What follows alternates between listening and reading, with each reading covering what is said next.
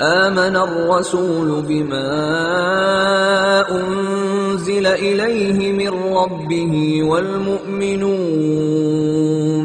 كل آمن بالله وملائكته وكتبه ورسله. لا نفرق بين أحد من رسله. وقالوا سمعنا وأطعنا غفرانك ربنا وإليك المصير. لا يكلف الله نفسا إلا وسعها. لها ما كسبت وعليها ما اكتسبت. ربنا لا تؤاخذنا إن نسينا أو أخطأنا. ربنا ولا تحمل علينا إصرا كما حملته على الذين من قبلنا.